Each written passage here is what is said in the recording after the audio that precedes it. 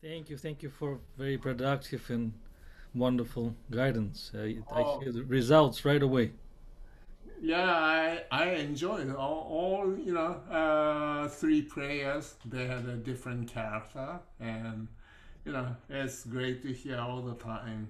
You know, I'm I'm sure everyone will uh, remember everything you work and you, you mentioned because it's it's really valuable to see someone with your kind of experience, lifetime experience, and it's it's really for me it's um, it's really I enjoy watching you, observing you, teaching because I see how much you enjoy and how much you perhaps develop a new ideas. You just don't um, you know don't don't nail something and stay on on the same kind of path. And i see like how you evolved even uh, approaching some of the passages in in this concerto and it's I, I will definitely consider. I already tried. I, I, I tried my violin. I tried some of the passages because I remember you said something different 30 years ago. Oh, really? yeah, about those chords. But I tried.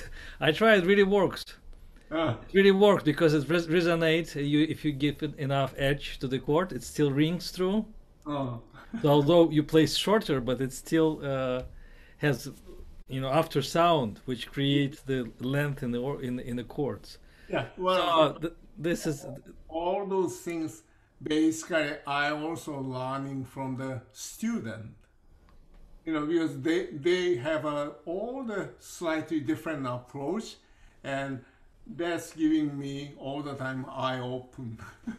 this is wonderful you mentioned, yeah, because it's an ongoing process. It's it's it's it's great. Actually, we, uh, I know we're almost out of time, and I appreciate everyone who is staying. We have many many attendees who are still with us.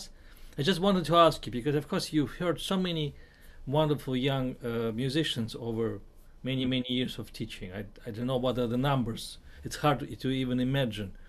Can you just think what are the most essential qualities among some of the of course the talent doesn't doesn't hurt to have a talent but i'm talking about something one try to develop or focus in their studies. What are the maybe you can name a few important qualities in order you know when you observe the student development and you see that certain quality really helps and with another very talented uh, student somehow it doesn't really doesn't really uh, help to to achieve a next next level. What are those qualities in your mind?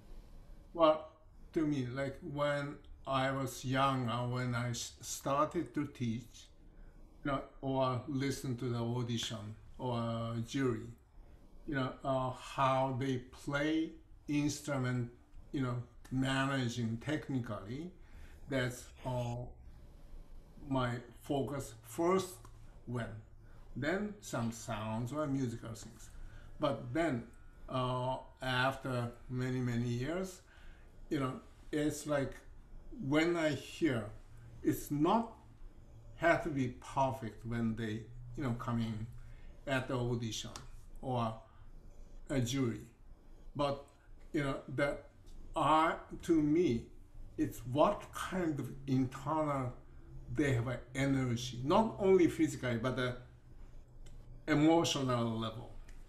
You know that kind of energy and when we start to walk the student who make the progress and improvement uh, in a many ways uh, sometimes slow sometimes slow, uh, fast doesn't matter.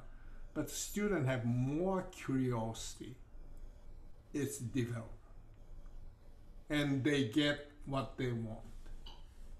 So absolutely yes yeah. Yeah first of all uh, they have to be they can get it like when i was walking with miss DeLay you know one of the very fast uh, Wieniawski short piece and i felt like my finger doesn't go like Heifetz moves. So Dorothy DeLay gave me okay try this way. So she put a metronome but she didn't tell me how fast. So slow and i have to do passage Then she put speed up. Gradually. So she didn't tell me the what is the metronome speed. So then when I have a little problem, oh, go softer, play small, but fast. Then finally, when I get the limit, she done, okay, this is your tempo. Go back home and listen to Heifetz recording and check the metronome speed. and my finger was moving faster. you know, so then something, then you start to have the encouragement. So you feel like maybe I we could do. you know, maybe even, even like starting with a two bars, but then extend, you know, that kind of things.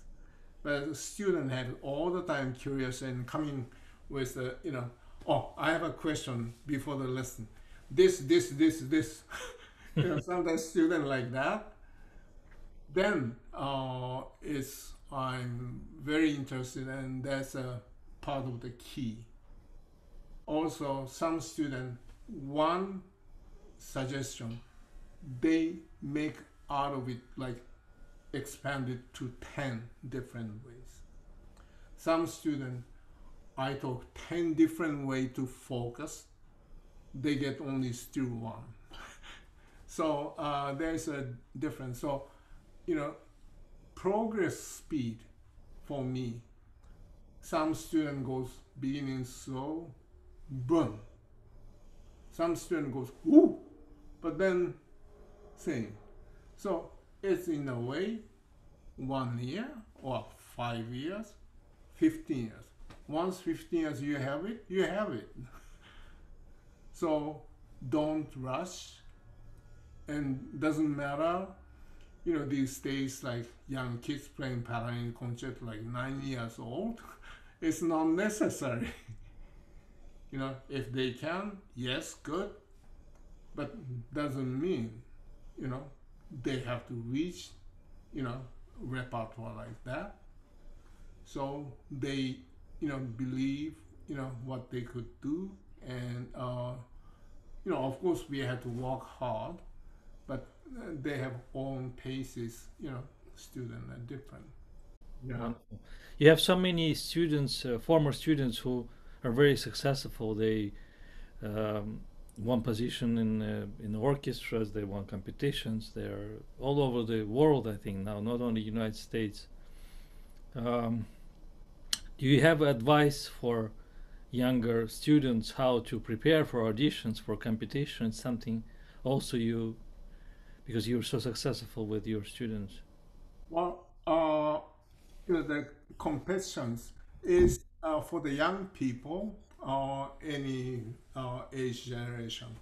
Uh, i think it's a good goal to put the uh, repertoire together and uh, they had a different uh, opinion from the judges or you know uh, so result if you uh, win something is great but it's more important for the process. And uh, to do that uh, part of the experience you know uh, but uh, of course all those technical things you know like uh, uh, security or those things you know these any competition you go uh, they require and expecting to have those things.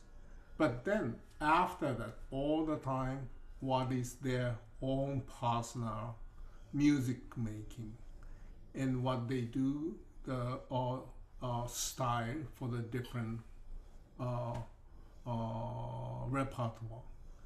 You know those things, but uh, uh, it's just constant uh, uh, preparation. So young people they feel like oh this piece is easy i can prepare in two weeks three weeks. But so, some people they go through many times. So so i suggest for the competition there is a three period they should make. First study. Then they put the piece. You know first study means certain levels memorize.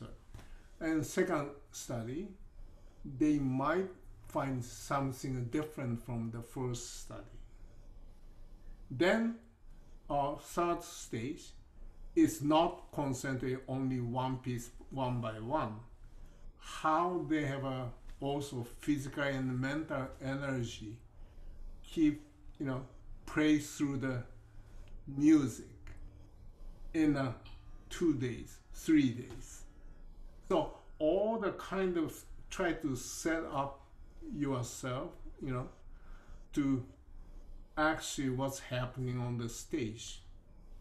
You know, they have a first round, then finals, finals. Between that, three days, sometimes only two days.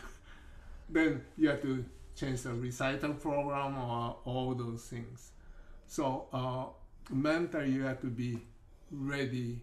When you go there, you don't have a chance to practice. Basically, go through the thing. So all the uh, process, you know, walk the, all the details, how you want to make your own music, is a very first part, second part. So not only one study and go, like three months, to me. That's what I suggest to the student.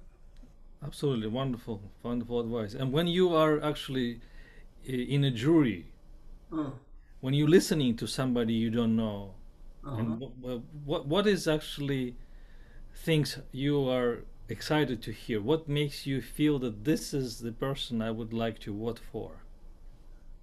Well, you know, uh, you know, everybody making, you know, here and there, like all technical, you know, mistakes, you know, or control, but more like, you know, like how much of the uh, their uh, musical communication skill, what they wanna, you know, tell us, and uh, their energy. So to me, it's you know everything playing nice, clean. You know, it's good, but even some, some you know, like there's like let's say ten judges. Is a player, it's really strange style. But maybe one or two judges they like. Maybe if eight of them they don't like, this candidate doesn't go to the next round. But if person has okay, is it okay? I'm doing fine. I don't like. Even you know the player says, okay, this is my music. Come to me. Even you don't like it, that's okay. But this is my music, like really present. That's more interesting for me. Yeah. Yes, yeah, I, I, absolutely. I, I'm glad you're saying this because I also agree, and I tell my students. Of course, everyone is trying to get perfect, but this is not the ultimate point. Mm. And so many young musicians now play on an incredibly high level, and in order to really to to grab anyone musical attention, especially during the competition or auditions, I think one really need to possess this very individual approach to the music, especially to the music we've been hearing for you know centuries. Yeah. Everyone plays Brahms and, and Tchaikovsky and all those concerta. So just to pl- just to play it perfectly well, or fast, or I don't know, impressive, it's not enough. It's what is important is to develop some kind of interpretation that Yeah. we are as listeners Mm. are going to be awake and will be, be taking and will as you mentioned you will learn something from the students. So it's a great uh, sense when you hear somebody when you're in a jury and you listen and say ah this is very interesting. This is Yeah. very interesting idea. Or this, this, this phrase developed an incredible character. I would never think about this or this um, or this uh, approach to the piece gives a very different light to this music. So I think it's what you said, and I, I'm happy because uh, I, I feel very much the same way. It's what we look when we listen, especially when you hear many, many people, and sometimes you don't even remember some of the people play. They play well, but you half of sleep because you know Yeah. they play well. But then somebody comes and start playing, and suddenly you feel that energy is coming. You want to hear it for the sixth or for the tenth time, the same piece, because this this person is making this music alive. And I think this is the beauty of our, our profession that you know everyone can bring a different different angle different point to the music different interpretation if it's sincere if it has certain depth understanding and of course convic- conviction conviction in what they do it's they have to be very uh, they have to trust in what they feel that this is this is my baby. This music is this interpretation. I feel that way. Yeah. I, am going to stand no matter what